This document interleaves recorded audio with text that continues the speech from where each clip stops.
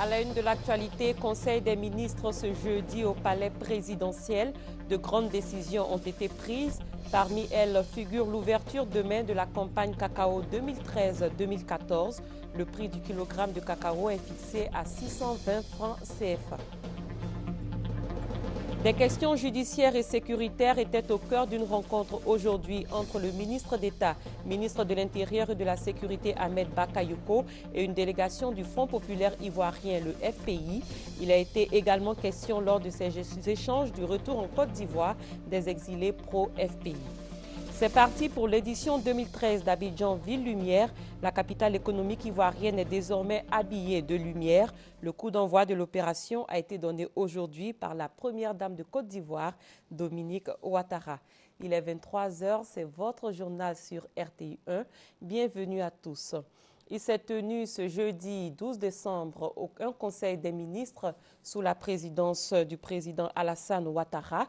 Au nombre des grandes décisions prises figure la couverture maladie universelle qui va démarrer le 1er janvier 2015 et l'ouverture demain de la campagne cacao 2013-2014. Il est à noter que le prix du kilogramme de cacao est fixé à 620 francs CFA et je rappelle que le Conseil des ministres s'est tenu aujourd'hui jeudi 19 décembre. Viviane Haïm. Le dernier Conseil des ministres de l'année 2013 s'est tenu ce jeudi 19 décembre au Palais présidentiel sous la présidence du président de la République Alassane Ouattara.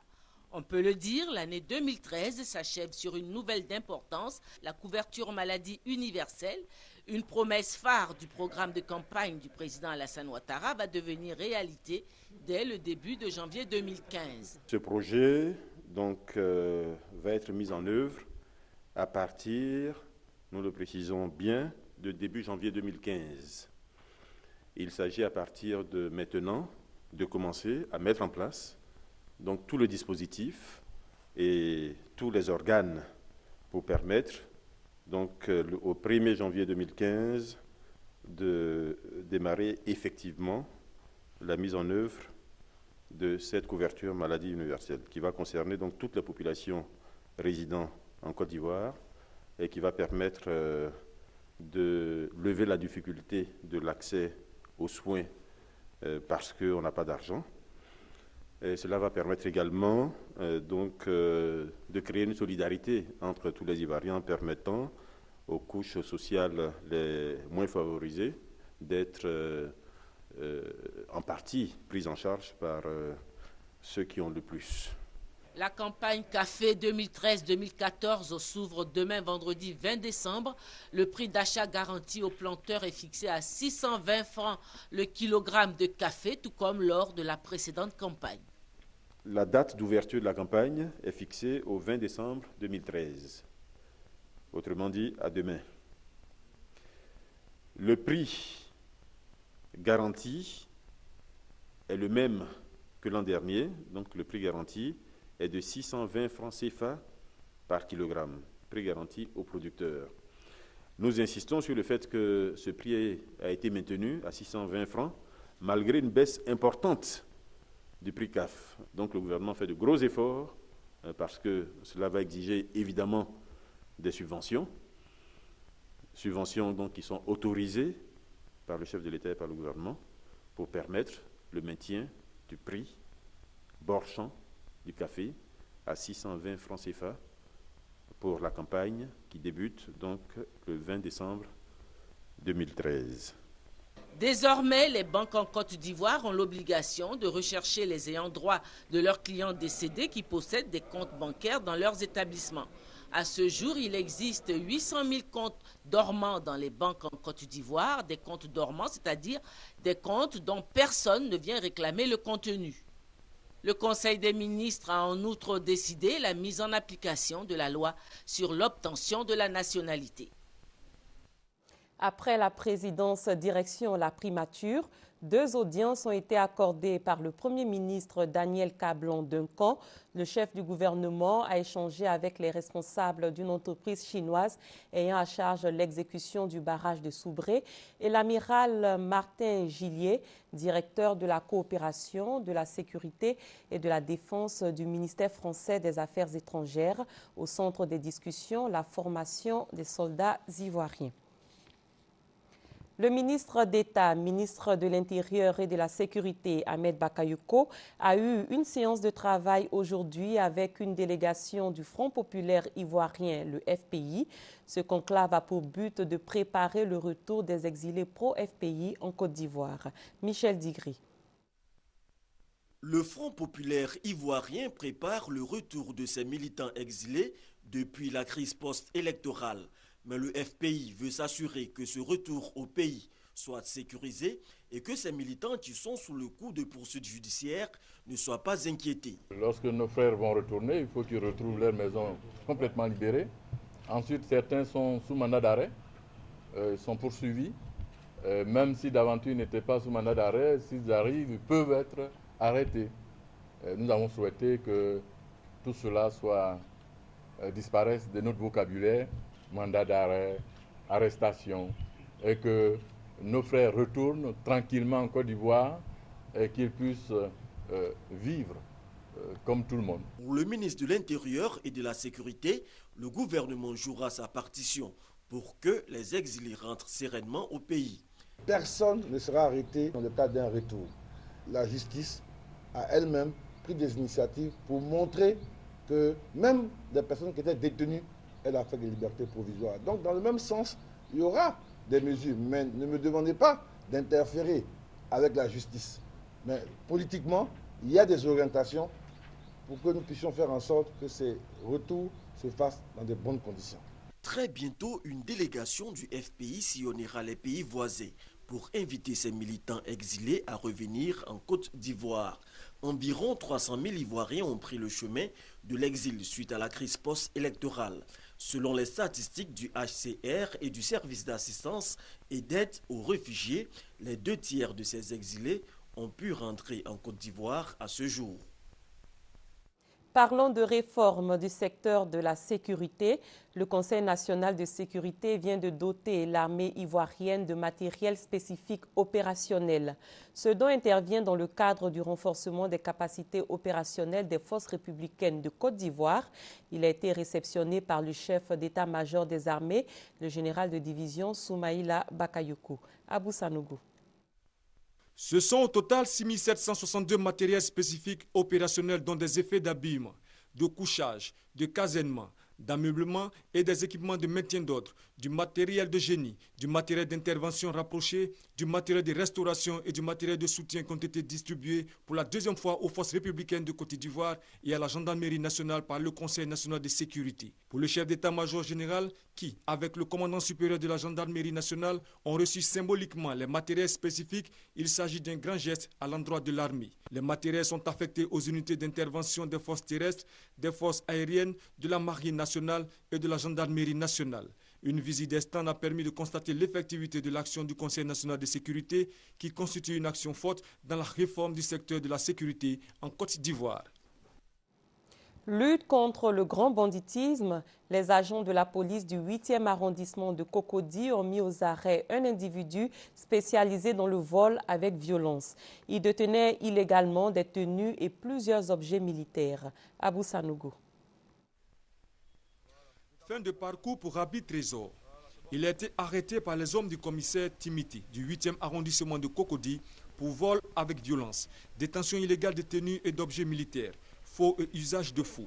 Se faisant passer tantôt pour un pasteur, tantôt pour un ex-combattant, Rabbi Trésor a été interpellé après une perquisition à son domicile où ont été retrouvés six complets treillis, un laissez-passer présidentiel, une vareuse, un chargeur de Kalachnikov contenant 25 cartouches, deux cartes professionnelles d'officiers militaires, deux clés de véhicule, un ordinateur, des ceinturons, des bérets, des portables, des gilets et des couteaux. Et à l'endroit des ex-combattants, euh, nous leur disons, tous ceux qui détiennent aujourd'hui euh, des armes, de les déposer.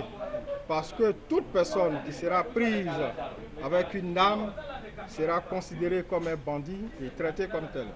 Rabbi Trésor sera mis à la disposition du parquet pour répondre de ces actes. Le ministre de la Culture et de la Francophonie, Maurice Bandama, représente la Côte d'Ivoire à la foire du livre de Dakar.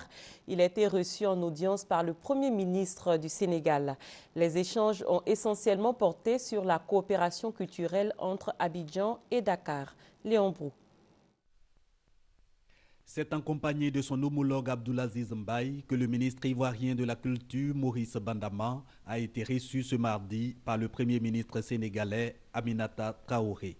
Au centre de cette audience, la coopération culturelle entre la Côte d'Ivoire et le Sénégal. Bien plus, Maurice Bandama plaide pour une politique commune de promotion de la culture et des arts africains. Nos artistes, nos créateurs se rencontrent, mais au niveau de nos politiques d'intégration, nous avons très peu de, relations euh, euh, institutionnelles en commun.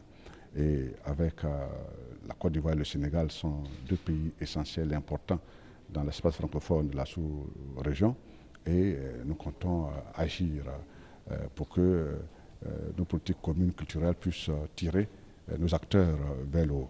Nous avons aussi traduit à Madame le Premier ministre les salutations de son homologue ivoirien, le Premier ministre Calvin Daniel, et aussi la volonté de la Côte d'Ivoire de prendre une part active au prochain sommet de la francophonie qui sera un sommet d'hommage au président Abdou Diouf.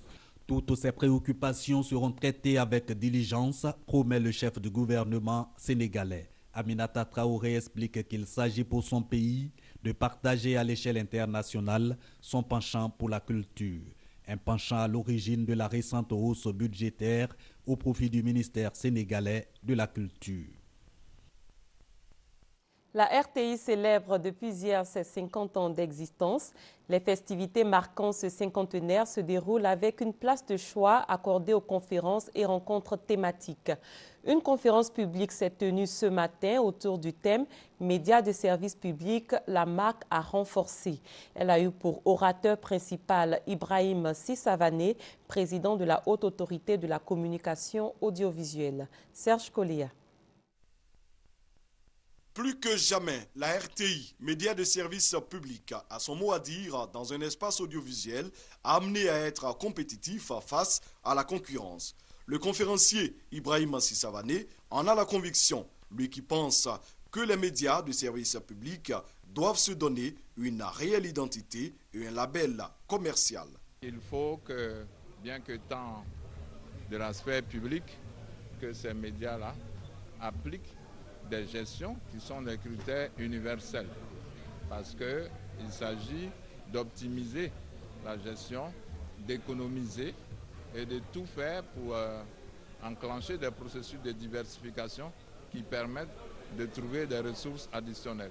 En ce qui concerne la libéralisation de l'espace audiovisuel, le président de la Haute Autorité de la Communication audiovisuelle s'est voulu précis. Cette libéralisation, c'est un impératif catégorique soit on libéralise de façon équitable, ordonnée, organisée, soit de nouveaux acteurs utilisant de nouvelles technologies et se défiant la souveraineté des États et des régulateurs sont capables, ces nouveaux acteurs-là, de créer des situations où ils n'auront même pas besoin d'autorisation pour arroser nos pays. La RTI, média de service public, note le conférencier, riche de sa longue expérience de 50 ans dans l'espace audiovisuel, peut maintenir sa situation de monopole. Geneviève Wané est une productrice télé et animatrice ayant exercé pendant plusieurs années à la radiodiffusion télévision ivoirienne. Elle se consacre désormais à sa seconde passion, qu'est l'art. En marge de la célébration du cinquantenaire de la RTI, l'ancienne animatrice organise ici à Abidjan une exposition de ses œuvres de peinture. Elle aborde dans ses travaux le thème de la femme. Nous restons avec Serge Collier. Abidjan, Riviera 2, Galerie Kofi Yao. Geneviève Wané nous ouvre ses portes. Depuis qu'elle n'est plus sous le feu des projecteurs, l'ancienne animatrice est désormais à la peinture. Elle dépeint lors de notre entrevue un tableau de son passage à la Maison Bleue. Je me souviens à l'époque, euh, je travaillais avec Georges Benson, avec Clémentine Tikida. Ce sont toutes ces merveilleuses personnes qui m'ont appris le métier. Et aujourd'hui, je les vois encore présentes. C'est énormément d'émotions. Le cinquantenaire, c'est vraiment l'émotion totale. Des souvenirs qui l'ont accompagné, guidé et inspiré. Aujourd'hui, l'artiste a à son actif plusieurs collections d'œuvres d'art allant de la céramique à la poterie en passant par la peinture. Elle expose ses dernières œuvres. Le thème, c'est émotionnel. Donc, c'est les émotions. Les grandes émotions après un certain moment d'absence et le retour. Et je vous avoue que chaque jour est une nouvelle émotion pour moi. Une exposition dans laquelle elle rend encore hommage aux femmes. Ces beaux visages féminins qui ont fait les beaux jours de la RTI, mais au-delà, à la femme, objet de fascination et de création. La femme, avec ses formes harmonieuses, ses arrondis, porte en elle la vie. Donc, dans chacun de mes tableaux, vous trouverez bien souvent euh, cette alliance de la poterie et en même temps de, de, la femme, avec donc beaucoup de drapés, avec les critères de beauté qui appartiennent à la femme, ce sont donc euh, ces, ces, perles autour des reins. Le public est invité à visiter cette exposition. Elle se tient jusqu'à la fin de l'année. Ce reportage était plutôt commenté par Alexis Ouedraogo. Nous restons dans le cadre de la célébration des 50 ans de la RTI, une célébration marquée par la tenue de plusieurs rencontres thématiques, dont un atelier sur le traitement de l'information. Suivez ce reportage. Les faits sont sacrés, les commentaires sont libres. Un principe cher au journalisme et qui a guidé la réflexion au cours de cet atelier portant sur le thème le traitement de l'information par la RTI, L'accent est donc mis sur l'importance de l'information à véhiculer, sans oublier le processus d'élaboration du journal. Le métier a ses bases, a ses règles qu'il faut respecter. Cela suppose qu'on puisse euh, s'en imprégner suffisamment et qu'on puisse faire le travail en toute euh, impartialité. On ne demande pas aux journalistes de fournir, de donner une information en tant que telle. Le journaliste se sert de ce qu'on appelle la matière première, qui est l'information qu'il recueille sur le terrain. Il apporte la valeur ajoutée, donc son expertise à cette matière première, de sorte que ça soit un produit fini, digeste et acceptable par le téléspectateur. Un atelier fort enrichissant pour les participants. J'ai été satisfaite parce que euh, on a parlé de la radio, on a parlé de la télévision et ça nous a été bénéfique parce que quand on étudie, c'est une chose, mais quand on passe en pratique, ça en est une autre. Plusieurs autres modules ont été également traités. Ce sont entre autres les défis du numérique, la production et la réalisation. À l'Assemblée nationale, quatre projets de loi ont été adoptés ce jeudi. Il s'agit de deux lois organiques, une loi portant règlement du budget de l'État pour l'exercice 2012 et le projet de loi relatif au budget 2014. Et puis, sachez que le ministère de l'Économie et des Finances a servi de cadre cet après-midi à la signature de la convention de concession pour la réalisation du second terminal à conteneurs du port autonome d'Abidjan, dénommé TC2. La séance a enregistré la présence des ministres du Transport Gaussou Touré, de la ministre en charge de l'économie et des finances Niale Kaba, les responsables du groupe Bolloré et le directeur général du port autonome d'Abidjan. Et nous vous ferons le compte rendu complet de cette signature de convention dans nos prochaines éditions. Une autre signature de convention a eu lieu aujourd'hui.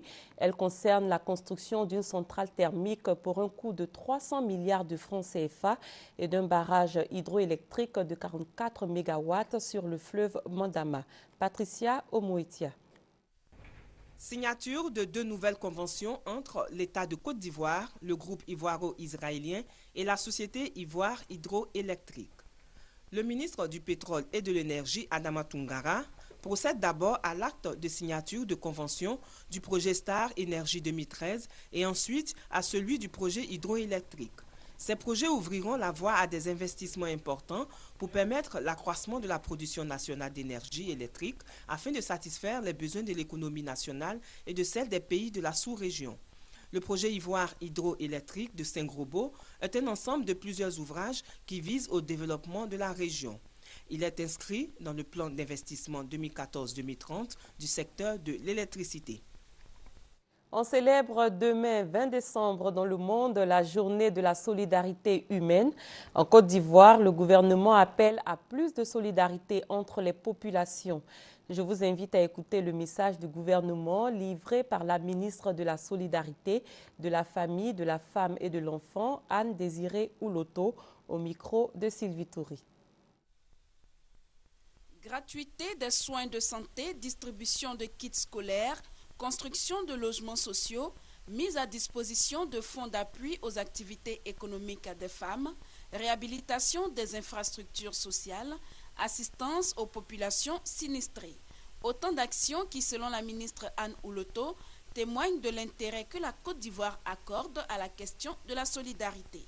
Si le gouvernement peut se féliciter des importants efforts consentis, il n'en demeure pas moins que les défis à relever pour combler les besoins sociaux des couches les plus vulnérables restent malheureusement encore considérables en raison de la longue crise qu'a connue notre pays avec ces nouvelles formes de précarité sociale telles que les victimes de guerre.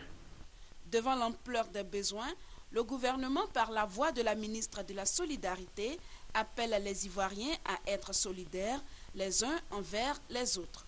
En tant que valeur intrinsèque de nos traditions africaines, la solidarité doit prendre pied en nous. Au moment où la Côte d'Ivoire renoue avec la croissance et laisse entrevoir des perspectives prometteuses l'avenir. Au-delà des discours, le gouvernement sera ce 20 décembre sur le terrain aux côtés des familles défavorisées, des victimes de guerre, des fonctionnaires surendettés pour leur exprimer sa solidarité en cette période de fête. Avant de poursuivre, je vous fais lecture de ce télégramme officiel du président de la République à son Excellence Madame Michelle Bachelet, présidente du Chili.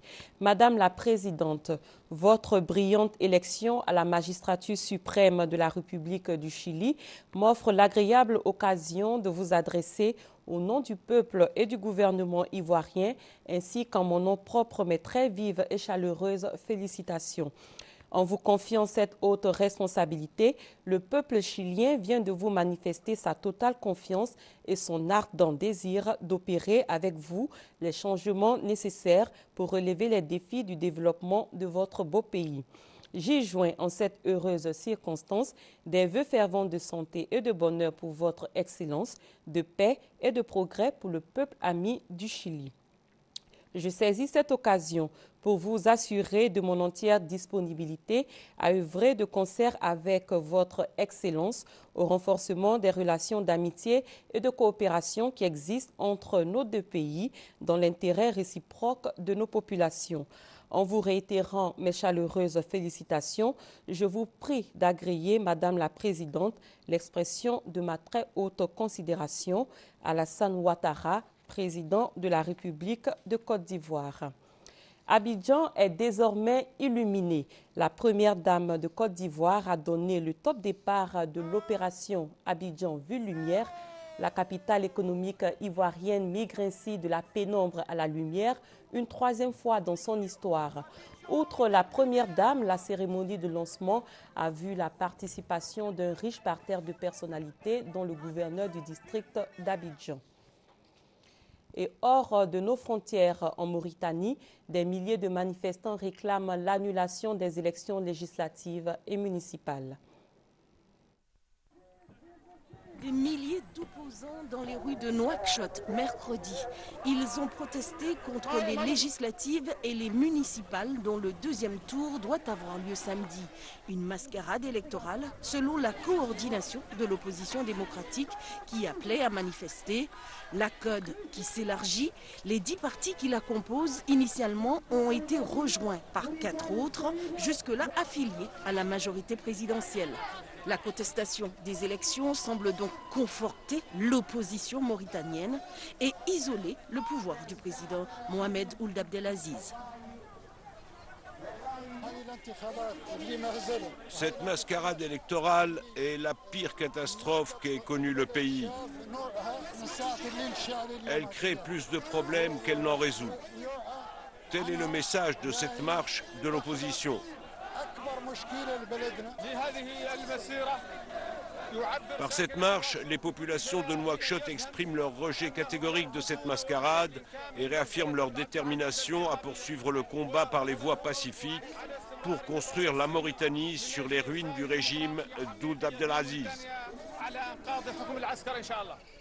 La CODE avait appelé à boycotter le premier tour des élections qui s'est déroulé le 23 novembre dernier, évoquant un manque de transparence et une organisation unilatérale. Face à un seul et unique challenger, les islamistes modérés de Tawassoul, le parti du président Ould Abdelaziz a revendiqué une victoire quasi totale dans les deux scrutins, tandis que l'opposition réclame l'annulation pure et simple du vote. C'est la fin de cette édition. Merci de votre aimable attention. Bonne suite de programme sur RTI 1.